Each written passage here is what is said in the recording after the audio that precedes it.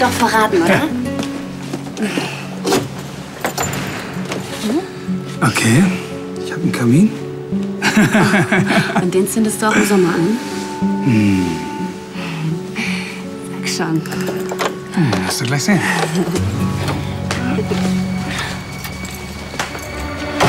Voila. Ah, ein Frauchen wartet schon, oder wie? Ist es nicht, wie du denkst?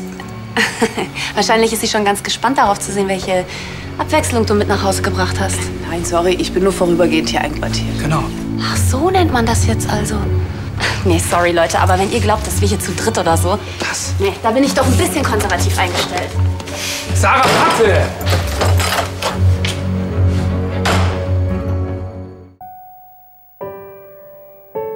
Ich mag dich, Alex. Ich mag dich wirklich. Sag mal, Manuel und du, ihr habt zurzeit nicht gerade eine Hochphase, oder? Ist das so offensichtlich? Naja, der hat ganz schön angepisst reagiert.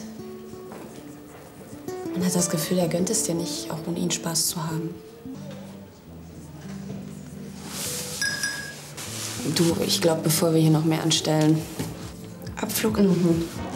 Hier, probier das mal. Das hilft gegen schlaffe Oberarme. Dann hättest du das aber nötiger als ich. Hallo?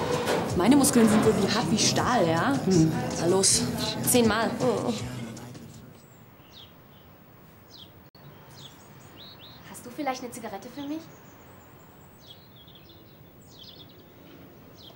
Hallo, ich rede mit dir.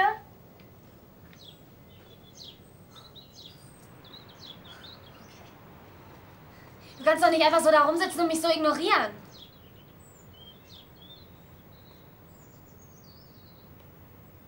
Das ist doch keine Art. Das ist unprofessionell. Du mieses... Heute zu wenig Nikotin gehabt? Nico, Nicola Wilberg, bitte zum Vorsprechen.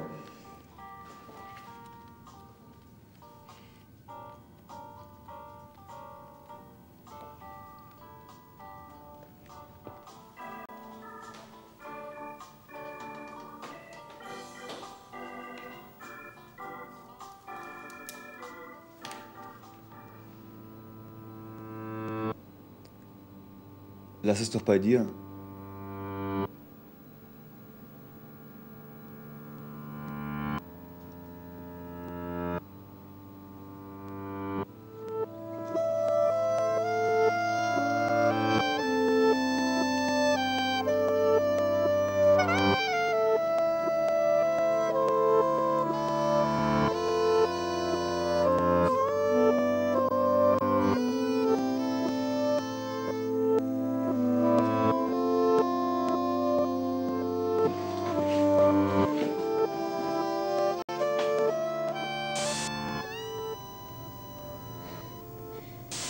Alles, was ich eben gesagt habe, entsprach nicht der Wahrheit.